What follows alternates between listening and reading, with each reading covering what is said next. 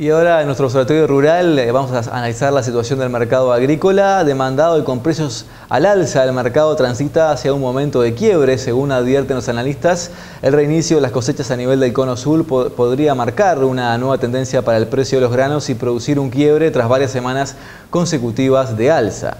Los entendidos consideran que la mayor oferta que se espera tras la tregua que le está dando el clima a la agricultura de nuestra región, sumado a la firme demanda desde China, producirá un rebote hacia abajo en los precios. Por el momento el mercado sigue firme con cotizaciones para la soja de 525 dólares por tonelada en el mercado de Chicago y de 490 dólares a nivel local a nivel de Nueva Palmira. En cuanto a los cultivos de trigo y maíz, está a la espera de que se den a conocer los resultados finales de producción de Ucrania, elemento decisivo para el mercado mundial de granos. Estamos en un momento de quiebre en, cuanto a, lo que el mercado se refiere. Normalmente en estas épocas eh, las compras, básicamente hablando de soja, del mercado chino eh, se vuelcan desde el mercado americano hacia el sudamericano eh, y normalmente eso trae de la mano alguna corrección a la baja en los precios de, la soja en el mercado internacional. Este año eh, la situación no ha sido así, este, es más, ha habido más bien una, una, suba. Por un lado, una demanda que está muy fuerte desde China. Las ventas del mercado americano han sido eh, superiores a lo que normalmente se dan para, para esta época del año. Y a su vez las demoras en las, eh, la poder entrar a cosechar en el mercado brasilero, sobre todo en, el, en la zona eh, más productora de soja, eh, habida cuenta de, la abundancia de lluvias que no ha permitido hacer la, la cosecha como se esperaba. Y además eh, días que día tras día que va pasando y que no se puede entrar y que además se van generando también problemas de logística, eh, problemas de caminería, es, no es fácil llegar a algunas zonas en donde están grandes plantaciones de soja, también por la ocurrencia de grandes lluvias.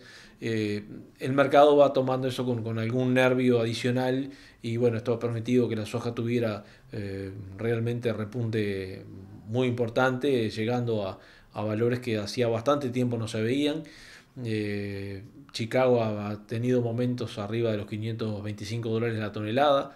Eso normalmente ha dado como resultado que para los productores uruguayos tuvieran posibilidad de vender sus hojas sobre el mercado de Palmira arriba de los 490 dólares la tonelada, cosa que eh, mucha gente no esperaba. Es más, este, como habíamos hablado en alguna otra oportunidad, eh, muchos productores habían puesto un, número para tomar decisión de venta entre los 450 y 460 dólares la tonelada.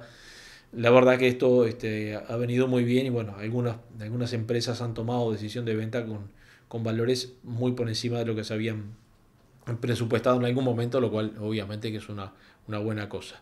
En, en estos últimos eh, días eh, se han podido ingresar a cosechar sobre, en Brasil, y hay algunos datos de compras eh, hechas de China y alguna cancelación de compra hecha en Estados Unidos, volcándolas hacia Sudamérica.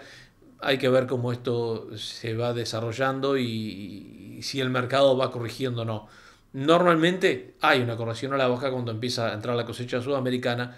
Veremos cómo eh, los primeros datos de, cosecha de Brasil y lo que vaya surgiendo con, eh, Argentina, que es otro gran actor en este, en, cuanto al volumen que se produce, eh, los datos que vayan arrojando y bueno, y el mercado como va leyendo. Y China si sigue comprando o no, cosa que todos esperamos que siga sucediendo.